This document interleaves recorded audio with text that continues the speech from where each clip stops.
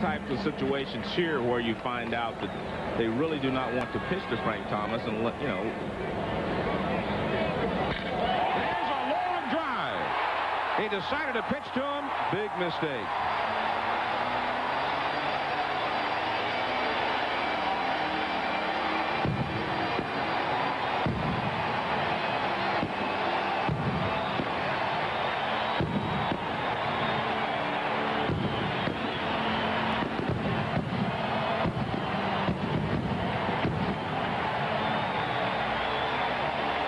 Number 36 for Thomas.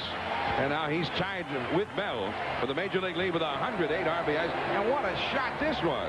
yeah, but why do you throw him this pitch belt high in the middle of the plate? And as soon as he touches it, he knows it's a home run. And the pitcher is upset, but should have thought about that before he threw it.